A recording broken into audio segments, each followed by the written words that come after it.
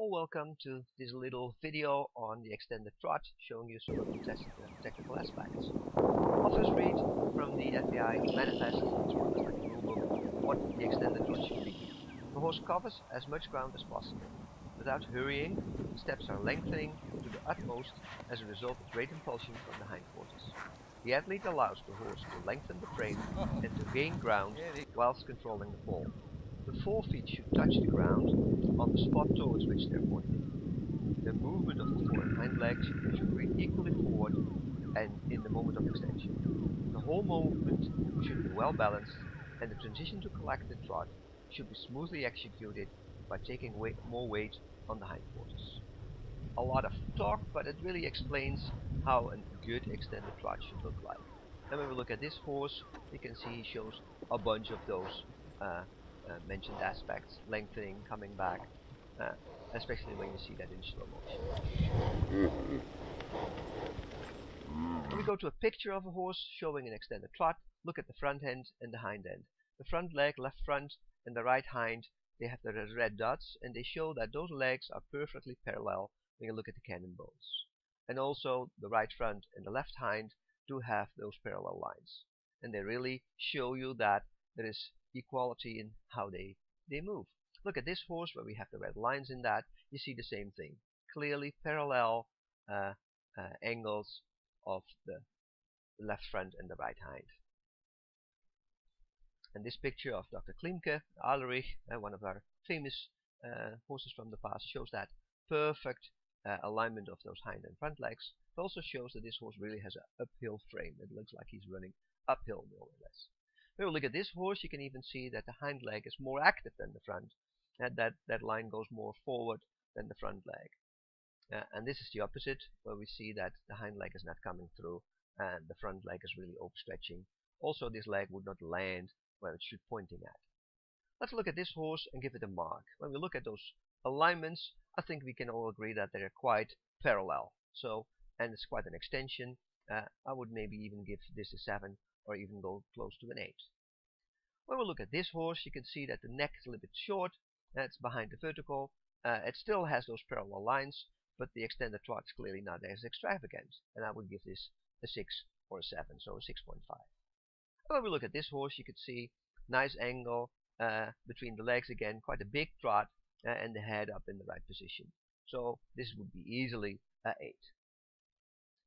Now we're going to do a trick. We're going to put different spots on there, different uh, red dots and blue and yellow dots. Look at the distance the hind legs travel and the front legs. You see that the hind legs really don't have that much reach as the front. So now suddenly what was like a 7 goes back to like a 5.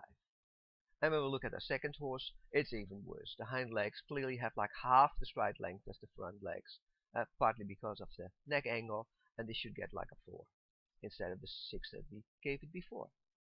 When we look at this horse, you see that's much more uh, comparable left the front end and the hind end, uh, and this should easily go into uh, like the 8 again that we had before, showing that uh, you look at a lot of things to go to your mark. And when we look at this horse, uh, cocktail with Anky van Grunsven, you see there's perfectly, completely the same distance between front and hind legs. This is like the perfect 9 or even the 10. And she got that into international and look at this horse in slow motion, really showing that uphill, large stride, and those parallel lines. Especially shown in slow motion, it's easier to understand.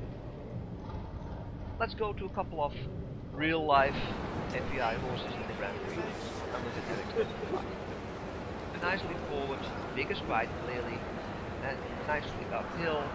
Uh, I would like to take a timeline. That be sad. this horse you can see little bit more swung in the whole motion, and it's more straight in the front legs, still comes through from behind. That's that by the right. Yeah.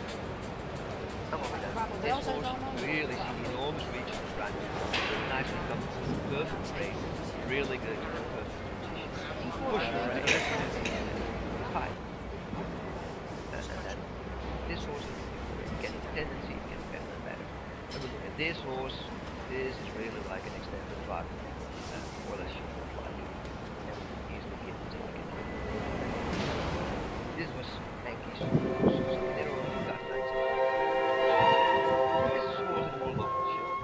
a Grand Prix horse, Uh, but you can see it's striding, it's bigger, but it also speeds up a little bit too much.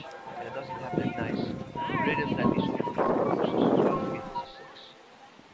We look at this horse,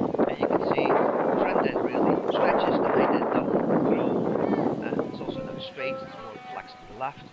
Uh, and then when we see the transition back to the collected it's again the right.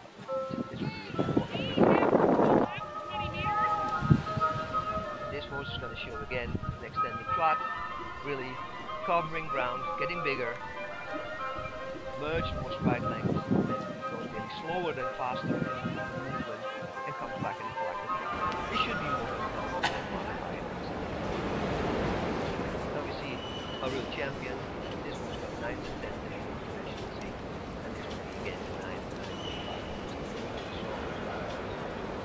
those who think like, wow, the hind end is not actually in front, we also have that in slow motion. And what you can see in slow motion, when you really look at the parallel lines between the hind end and the front end, it shows it perfectly is. Such an extravagant movement that when it goes at normal speed, it nearly looks like it's doing more in the front end than the hind end. But again, look back at the slow motion, and you can see it perfectly. This is Beauvais, uh, from uh, Cisallat, she got nines nice intense really uphill balance. Look at that. It's just just pure enjoyment. Really, really. That's what we all try to achieve in an extended trot.